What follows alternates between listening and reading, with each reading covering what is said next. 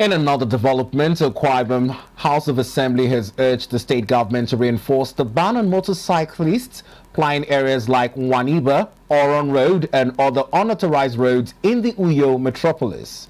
The resolution was reached following a motion raised by the member representing Mkpat Enin State Constituency, UM Imoita, on the need to prosecute motorists who operate outside the assigned areas. Imoh-Ita argued that the uncontrolled rate of motorcycle operations within major areas in Uyo has also contributed to the crime rate, while urging relevant law enforcement agents in collaboration with the State Ministry of Transport to reinforce the ban. Also note that as a measure to curb crimes and provide sustainable decorum within the state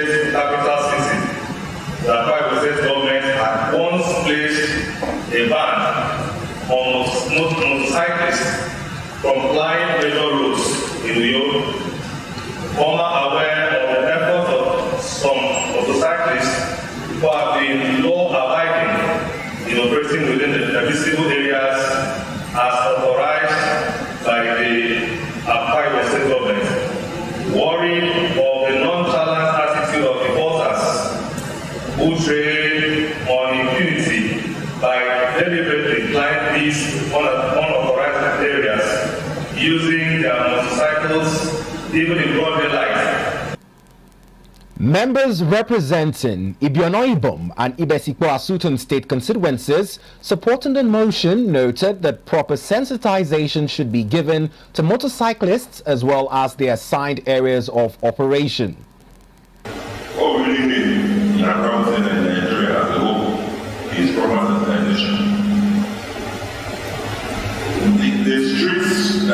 Why motorbikes are polluted, people don't even use safety apparatus, no evidence. So what we need is proper sensitization.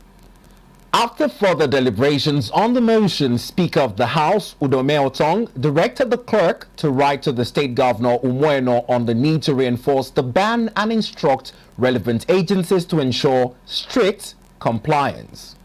I therefore the clerk to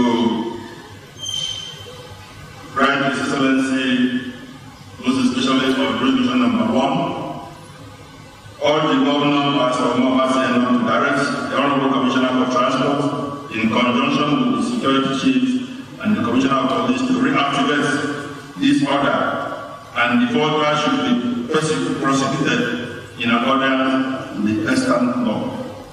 Those in favor say aye. Those against